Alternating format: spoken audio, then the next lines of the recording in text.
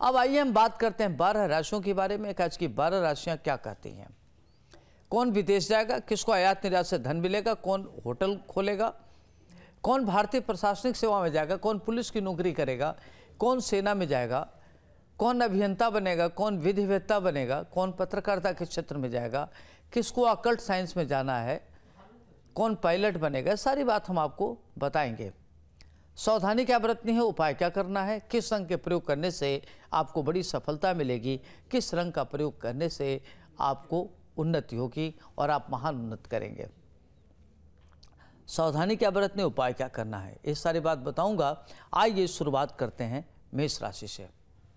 जो मेष राशि के जातक हैं, आज का दिन आपके लिए काफ़ी अच्छा है। यदि आपने कोई भी प्रतियोगी परीक्षा दे रखा है तो आज आपको सरकारी नौकरी मिलने का योग बन रहा है।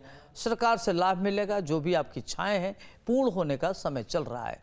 धन धान के क्षेत्र में किया गया प्रयास सार्थक होगा और आज अपने धन की वृद्धि का योग बन रहा है। माता से धन लाभ होगा। नए व्यापार करने का योग बन रहा है। विद्यार्थियों के लिए कालखंड काफ़ी अच्छा। अगर विद्यार्थी कोई विदेश में पढ़ने के लिए जाना चाहता है, चाहे मैनेजमेंट हो, चाहे अपने टेक्निकल एजुकेशन का हो, चाहे मेडिकल के फ़ील्ड में हो, चाहे लॉ के फ़ील्ड में या बैरिस्टर बनना चाहते तो उसके लिए आज का दिन बहुत अच्छा है।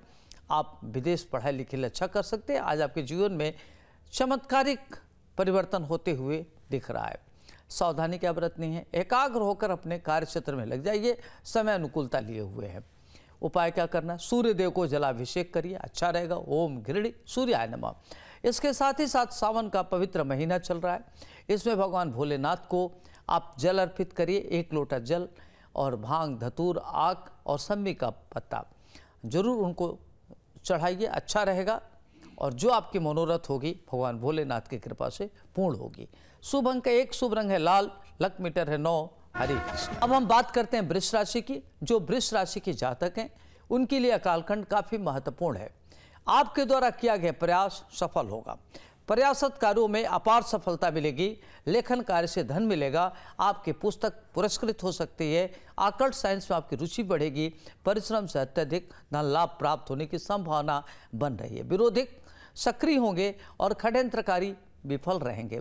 गुप्त शत्रुओं की संख्या में वृद्धि होगी, आध्यात्मिक विकास का योग चल रहा है। यात्रा तीर्थाटन, देशाटन का योग बन रहा है। आध्यात्मिक विकास होगा और पांडित्य कर में रुचि बढ़ेगी, मंदिर इत्यादि का निर्माण कर सकते हैं। सावधानियाँ क्या बरतनी है? गुस्से पर नियंत्रण रखना आपके लिए अच्छा रहेगा। छोटी छोटी बात से लेकर इरिटेट हो जाते उपाय क्या करना है? सफ़ेद वस्त्र दान करना आपके लिए अच्छा रहेगा। गाय के दूध से भगवान भोलेनाथ को ओम नमः शिवाय मंत्र से दुग्धाभिषेक करिए और उनको क्या करें कि सम्य का पत्ता अर्पित करिए। शुभ अंक है तीन, शुभ रंग है बैगनी, लक मीटर है नौ, हरे कृष्ण। बात करते हैं मिथुन राशि की। जो मिथुन राशि के जातक हैं, उनके लिए आज का दिन काफ़ी महत्वपूर्ण है। आपकी समस्त महत्वाकांक्षाएँ पूर्ण होगी, आपको रुका हुआ धन प्राप्त होते हुए दिख रहा है। आपके द्वारा किया गया प्रयास सफल होगा। प्रयास कार्यों में महान सफलता मिलेगी। परिवार में नए मेहमान के आगमन से घर में खुशियों का माहौल रहेगा। आज आपको पत्नी का सुख प्राप्त होगा। दाम्पत्य जीवन अच्छा होगा। पत्नी का मेंटल, मॉरल, इमोशनल सपोर्ट मिलेगा। चतुर्दिक लाभ से आज आपका मन प्रफुल्लित रहेगा माता पिता का सहयोग मिलेगा, आपके पुराने मित्र मिलेंगे जिससे मन आपका खुश रहेगा। नौकर इत्यादि का सुख मिलेगा, गाड़ी खरीद सकते हैं, नए प्रकार का का भूमि भवन, कृषि भूमि खरीदने का अवसर मिलेगा। यदि आपके घर में कोई अविवाहित लड़का या लड़की है तो उसकी शादी का शुभ समाचार आपको प्राप्त होगा। सावधानी क्या बरतनी है? पॉजिटिव सोच रखना आपके लिए अच्छा रहेगा। उपाय क्या करना? हरा चारा गाय को खिलाना अच्छा रहेगा। भगवान भोलेनाथ को गाय के दूध से अभिषेक करिए अच्छा रहेगा। रुद्री का पाठ करें, आपके लिए अच्छा रहेगा। शुभ अंक छः शुभ रंग है सी ग्रीन, लक मीटर है आठ, हरे कृष्ण। अब आइए हम बात करते हैं कर्क राशि की, जो कर्क राशि के जातक हैं आज आपको बड़ी सफलता प्राप्त होते हुए दिख रहा है। विद्यार्थियों के लिए कालखंड काफ़ी अच्छा है। इसमें आपकी पढ़ाई, लिखाई, करियर को लेकर के आप आपको काफ़ी आगे बढ़ेंगे और नए तरह के कार्य करेंगे। विदेश जा सकते हैं। खिलाड़ियों के लिए आज का दिन बहुत अच्छा। अगर खेल के क्षेत्र में आप अपना करियर अगर निर्धारित करना चाहते हैं तो आप काफ़ी अच्छा करेंगे। आपके जो विरोधी हैं षड्यंत्रकारी हैं, सब अपनी योजनाओं में विफल रहेंगे। आपका आध्यात्मिक विकास होने का योग बन रहा है, नए प्रकार का कार्य करने का योग बन रहा है। प्रॉपर्टी इत्यादि खरीद सकते हो, उसकी संभावना बन रही है माता जी के स्वास्थ्य को लेकर के चिंता हो सकती है। आपका कोई पुराना मित्र मिलेगा, जिसके मिलने से आपका मन प्रसन्न रहेगा। बचपन की यादें तरोताज़ा होगी और एक अच्छी ऊर्जा के साथ आज अपने कार्यों की शुरुआत करेंगे, उसमें आपको अपार सफलता मिलते हुए दिख रहा है। सावधानियाँ क्या बरतनी है? अपने आलस्य का परित्याग करें, आपके लिए अच्छा रहेगा।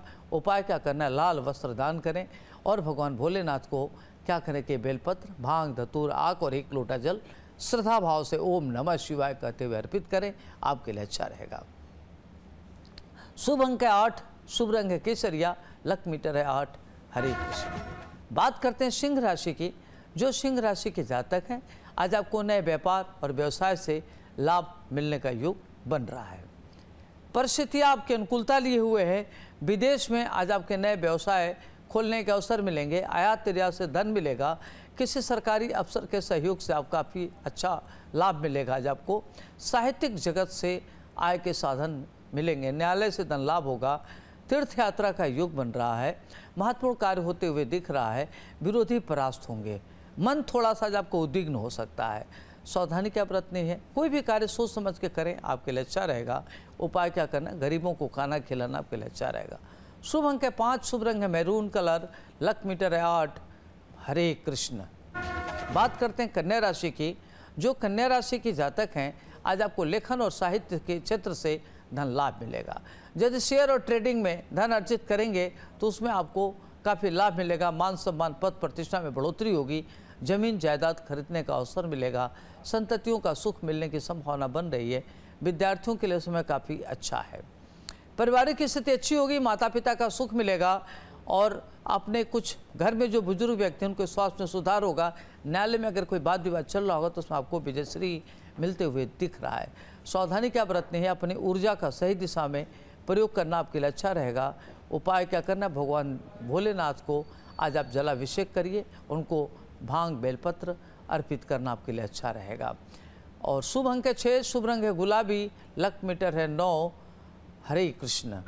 बात करते हैं तुला राशि की, जो तुला राशि की जातक हैं, आज आपके मान सम्मान पद प्रतिष्ठा में बढ़ोतरी होगी।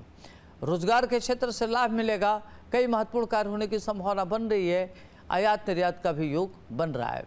परिवार में शुभ और मांगलिक कार्य होने का योग बन रहा है, नए प्रकार का कार्य कर सकते हैं। और कई महत्वपूर्ण कार्य होने की संभावना बन रही है। यदि आप विधि के क्षेत्र में कुछ करना चाहते तो बड़ा कर सकते हैं। यदि आप माइक्रोबायोलॉजी में या बायोटेक्नोलॉजी में कुछ करना चाहते हैं रिसर्च इत्यादि तो उसमें आपको अवसर मिलेगा। और मेडिकल के फ़ील्ड में कुछ बड़ा कर सकते हैं। सावधानी क्या बरतनी है? पॉजिटिव सोच रखें। उपाय क्या करना? हरा चारा गौशाला में गाय को खिलावें और भगवान भोलेनाथ की आराधना करना आपके लिए अच्छा रहेगा। शुभ अंक चार शुभ रंग सफ़ेद। लक मीटर है आठ। हरे कृष्ण। बात करते हैं वृश्चिक राशि की। जो वृश्चिक राशि के जातक हैं, आज आपको धन लाभ होने का योग बन रहा है। शुभ और मांगलिक कार्य होने की संभावना बन रही है। कई महत्वपूर्ण कार्य होने से मन प्रसन्न रहेगा। भाई बहन का सुख प्राप्त होगा और आज आप नए उद्योग इत्यादि लगा सकते हैं। खिलाड़ियों के लिए कालखंड अच्छा है। माता पिता का सुख मिलेगा। रियल इस्टेट प्रॉपर्टी, माइंस अगर पूंजी निवेश करते हैं तो आपके लिए लाभप्रद रहेगा। दूर देश की यात्रा हो सकती है, घर बनवा सकते हो। उपाय क्या करना है? पीपल के पेड़ पर आज आप क्या करें कि दिया जलावें और भगवान भोलेनाथ की आराधना करें। उनको एक लोटा जल, भाँग धतूर और सम्मी का पत्ता अर्पित करें। ओम नमः शिवाय मंत्र का जप करें। आपके लिए अच्छा रहेगा। तो जो आज आपको सावधानी ये बरतनी है कि अगर आपको गुस्सा आता है तो गुस्सा ना करें। अपने को बैलेंस रखें और गुस्से पर नियंत्रण रखें, नहीं तो आपको नुकसान हो सकता है। उपाय क्या करना है? पीपल के पेड़ पर दिया जलाना है। और आज आपके लिए शुभ अंक है दो। शुभ रंग है केसरिया, लक मीटर है सात। हरे कृष्ण।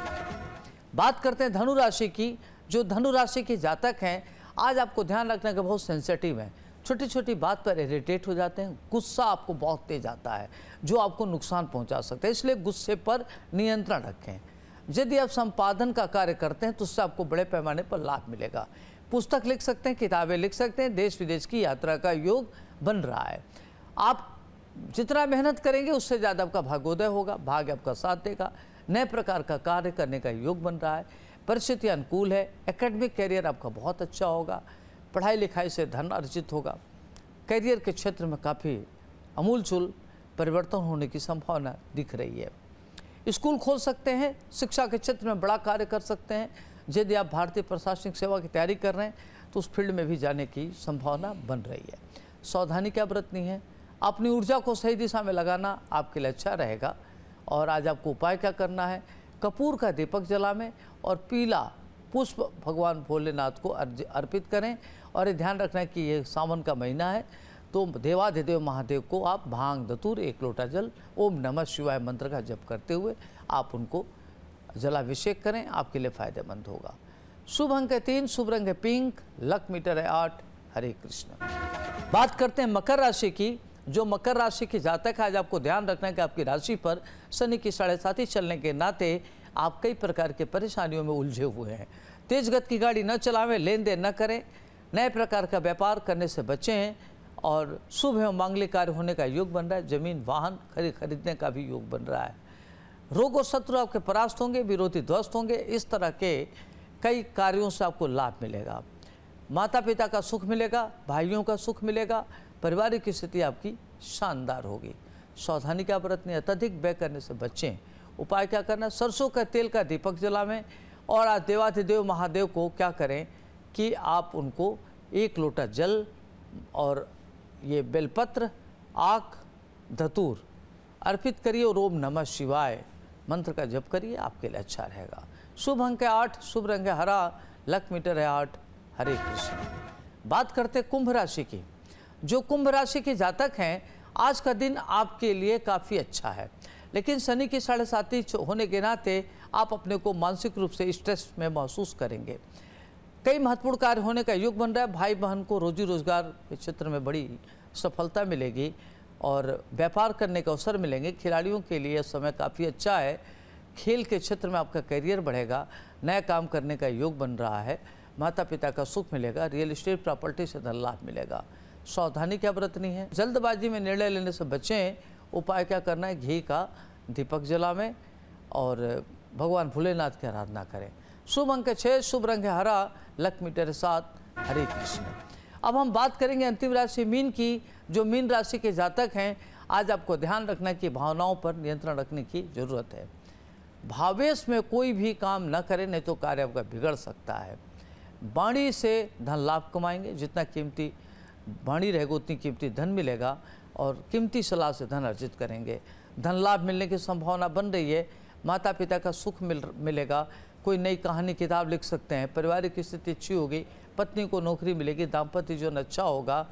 घर में शुभ और मांगलिक कार्य होने की भी संभावना बन रही है। सावधानी क्या बरतनी है? समय का सदुपयोग करना आपके लिए अच्छा रहेगा। और आज आपको ध्यान रखना है कि उपाय उपाय क्या करना है? पीला वस्त्र दान करें और भगवान भोलेनाथ को आप क्या करें कि भाँग, धतूर, गंगा जल, गाय का दूध मिला के आप उनको अर्पित करें और ओम नमः शिवाय मंत्र का कम से कम एक माला, तीन माला जप करना आपके लिए अच्छा रहेगा। शुभ अंक है तीन, शुभ रंग है पीला, लक मीटर है नौ, हरे कृष्ण। अब आइए हम बात करते हैं आज के दिन जन्मे जातकों के बारे में। आज जिन दर्शकों का जन्मदिन है, उनके जन्मदिन की बहुत बहुत बधाई ढेरों शुभकामनाएँ। आपका जन्मदिन शुभ हो, मंगलमय हो। आप खूब प्रगत करिए, आगे बढ़िए, आपका चतुर्दिक विकास हो। आप पर भगवान भोलेनाथ की कृपा बरसे। Happy birthday. आज जिन दर्शकों का जन्मदिन है, उनका मूलांक होता है तीन। तो खास तौर से तीन, बारह, इक्कीस और तीस तिथि की जो जन्म जातक होते हैं, उनका मूलांक होता है तीन। ज्योतिष शास्त्र में जो अंक का, जो रहस्यमयी अंक है, जो रहस्यमयी क्षेत्र है अंकों का, उसमें तीन नंबर का बड़ा महत्व होता है। तीन नंबर का नेतृत्व करने वाला देवगुरु बृहस्पति होता है। देवगुरु बृहस्पति के नाते ऐसे लोग बड़े गंभीर होते हैं, सरल होते हैं, सहज होते हैं और बड़े ही मददगार होते हैं। जो इनके दिल में वही बाहर है, जो बाहर है, वही दिल में है। इनके अंदर दिखावापन नहीं है। ये एक अच्छे मित्र हैं, लेकिन इनके पास एक अच्छे मित्र का अभाव रहता है। इस तरह के लोग खाने पीने के शौकीन होते हैं। अगर स्वादिष्ट भोजन मिल जाए तो ओवर ईटिंग करने से भी परहेज नहीं करते। यह वर्ष आपके लिए, लेखन कार्य के लिए बहुत अच्छा है, प्रगति के लिए अच्छा है, कई महत्वपूर्ण ऐतिहासिक कार्य करने के लिए अच्छा है तो देखा जाता है यह वर्ष आपके लिए काफ़ी अच्छा है। तो अगर आप एक टास्क टारगेट ओरिएंटेड होकर कार्य करते हैं तो आपको बड़ी सफलता मिलते हुए दिख रही है। माता पिता का सुख मिलेगा रियल एस्टेट प्रॉपर्टी माइन से धन लाभ मिलेगा। छोटी छोटी बात को लेकर आप एकदम परेशान न हो जो भी निर्णय लेना है दिमाग से लें दिल से निर्णय लेने से बच्चे और अपेक्षा रखना बंद करें। सौ जनवरी फरवरी मार्च अप्रैल शुरू के चार महीने शानदार है। ये आपके लिए गोल्डन है। इसमें तो, तो प्रगति विकास धन की स्थिति अच्छी कई महत्वपूर्ण कार्य होने की संभावना बन रही है। पुनः आपका मई, जून, जुलाई, ये जो चार महीना मीट का है, ये और अच्छा है, गोल्डन पीरियड है। इसमें आपकी धन की स्थिति अच्छी होगी, मजबूती आएगा और कुछ नए तरह के कार्य होने की संभावना बन रही है। पुनः आपका जुलाई, अगस्त, सितंबर, अक्टूबर, नवंबर, दिसंबर, ये उससे भी बेहतर है। लेकिन विरोधी सक्रिय हो सकते हैं, तनाव दे सकते हैं। घर में थोड़ा सा किसी की हेल्थ को लेकर के चिंता हो सकती है। तो कुल मिला जुला के नेट सेल में देखा जाए तो यह वर्ष आपके लिए अच्छा है और जो मूलांक तीन वाले हैं, उनके लिए काफ़ी अच्छा समय है। आपको सावधानी क्या बरतनी है, अपनी गोपनीयता बरतनी है खान पान पर नियंत्रण रखना है और किसी की लाइफ में न इंटरफियर करिए, न अपने लाइफ में किसी को इंटरफियर करने दीजिए, ये ध्यान रखना है।